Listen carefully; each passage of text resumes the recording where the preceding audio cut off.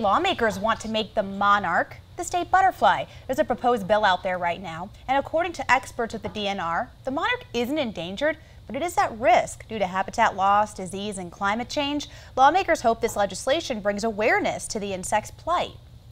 I think um, having them as the the state butterfly will certainly help bring attention to the trouble that monarchs are in, and hopefully, you know, the positive messages that everyone can help.